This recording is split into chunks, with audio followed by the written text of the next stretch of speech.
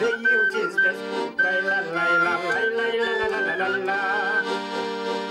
Cine nu știe măsura de Doamne să-i zăge gura Trai la la la la la la la la la la la Forfătă mare în familia Bivol, proprietara casei a stat la bucătărie dis de dimineață ca să pregătească cele mai alese bucate. Femeia se pregătește să primească oamenii dragi, întrucât hramul satului este un motiv bun să se adune împreună. Să fac așa perișoare cum face mama ulița odată.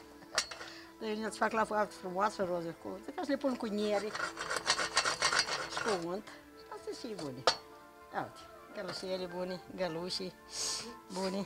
Iar gospodarul casei spune mândru că în fiecare an de hram îi vin copiii. Așa că la mulți ani.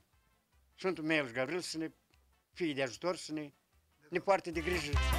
Moldovanul cât trăiește hop și așa. Parcă zici cum zici Damski.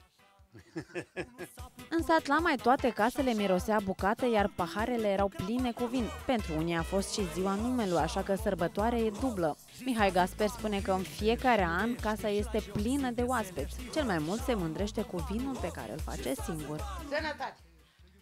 Domn Mihai, dar păi bine, bine, dar voi, dar cu vin, voi, au țuic și avem noi aici și dumneavoastră cu vin. Bine ați venit sănătoși, Bărbatul spunea că a fost numit în cinstea bunelului său și că nu-și imaginează să poartă un alt nume. De am și doi nepoței care îmi poartă numele de Mihai, adică în, în cinstea mea, unul e la Chișinău, dar unul e în Canada, dar e născut în Irlanda și e un fel de Michael. Dar oricum e Mihaiță. Că e... Peste 200 de localități și-au sărbătorit hramul. Numele Sfinților Arhanghel Mihail și Gavril este foarte răspândit la noi. Peste 75.000 de oameni se numesc Mihail, iar mai mult de 4.000 au numele Gavril sau Gabriel.